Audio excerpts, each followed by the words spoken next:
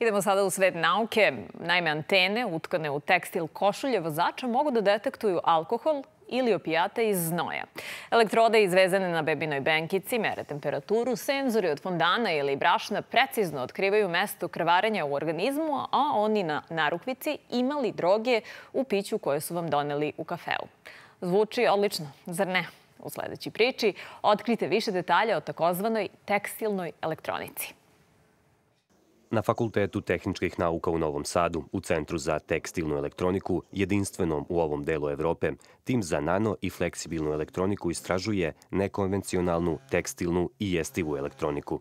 Mi trenutno radimo i na razvoju jedne tekstilne strukture koja bi potencijalno mogla da omogući e, ispitivanje e, ljudskog znoja i e, detekciju prisustva određenih materija, kao što je recimo e, alkohol u krvi ili e, povišen nivo stresa kod osobe.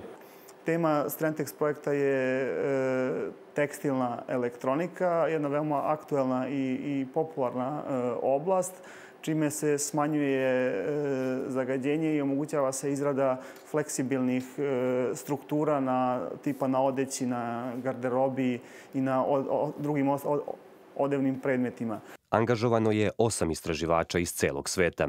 Hima Zafar je nakon studije u Pakistanu i Sjedinjenim američkim državama odlučila da doktorsku tezu, čija je tema primjena tekstilne elektronike u detekciji opijata, istražuje u Srbiji.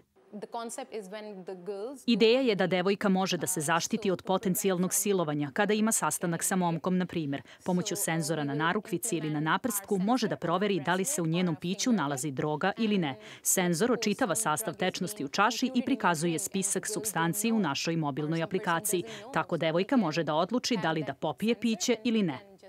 Izradu ovakvih materijala omogućava specijalna mašina za vez uz dodatak srebrnih provodnih niti pomoću kojih senzori prenose signale.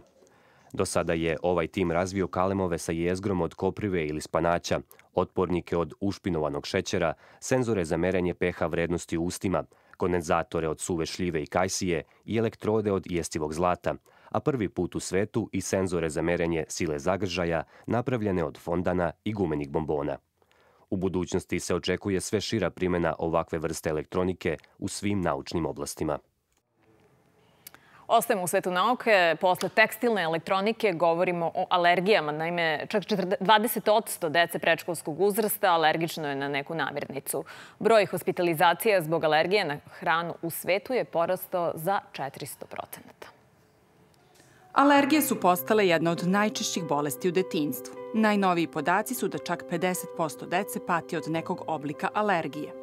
Inače se zna da deca češće boluju od alergije od odraslih. Čak skoro dva puta više imamo pacijenata koji imaju e, neke probleme sa alergijama u odnosu na odraslu populaciju. A to je negde 6 do 8% dece u odnosu na 3% odraslih. Da bi uopšte došlo do razvoja alergijskih bolesti mora da postoji genetika, osim genetike mora da postoji faktori spoljašnje sredine. Od faktora spoljašnje sredine tu ubrojamo znači, aerozagađenje, rani prekid dojenja, česte virusne infekcije, Prve alergijske reakcije mogu se javiti već oko drugog meseca bebinog života. Crvenilo ili perutanje obraza ukazuje na atopijski dermatitis. Neka od najranijih alergija koja može da se ispolji alergija na proteine kravljeg mleka. E, I ona se može ispojiti čak u prvim nedeljama života i ljudi čak misle da je vrlo redko da, na primjer, ako su deca na podojima ili uzimaju majčino mleko, ne mogu da dobiju alergiju na proteine kravljeg mleka. Mogu da dobiju, jer oni te proteine kravljeg mleka mogu da dobiju preko majke, ako majka jede proteine kravljeg mleka. Kasnije se mogu ispoljiti alergije na jaja, različite morske plodove, žitarice, kikiriki, ribu i soju. Tada se alergije manifestuje koprivnjačom, otocima u predelu lica, oko usana ili očiju. Nakon alergije na hranu može i ekcem takođe da bude posledica alergije na hranu. Zatim, ako se to ne prepozna i dalje se nastavi sa unošenjem recimo te neke namirnice, može da se javi da se jave obstrukcije, znači asma i da se sve završi kao alergijski rinic. Progresija razvoja alergijskih bolesti u detinstvu naziva se atopijski marš. Za koju osobu kažemo da je atopičar?